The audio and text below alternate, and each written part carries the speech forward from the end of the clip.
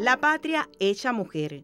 Esa es Mariana Grajales Cuello, raíz del alma, fuego inextinguible, madre de los Maceo y de todos los cubanos. Fue ella quien al conocer del inicio de la guerra, rebosando de alegría, coge un crucifijo y dice, de rodillas todos, delante de Cristo, que fue el primer hombre liberal que vino al mundo, juremos libertar a la patria o morir por ella.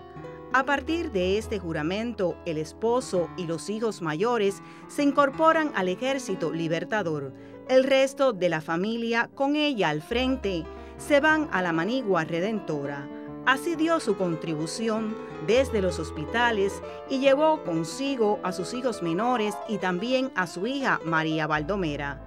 A pesar de los años, de los peligros en la manigua y la muerte de varios de los hijos y su esposo, conservó su entereza.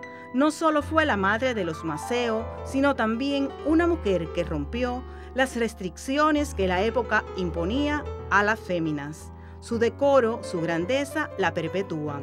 Afianzada su raíz en tierra fértil, crece como ceiba vigorosa. Se considera un árbol que jamás será derribado, un árbol milenario, eh, muy resistente, enorme, fue fuerte, poderoso y misterioso. Es la mujer que más ha conmovido mi corazón, escribió José Martí. Esa es Mariana Grajales Cuello, madre de los cubanos, raíz del alma de la patria. Caridad Franco, Sistema Informativo de la Televisión Cubana.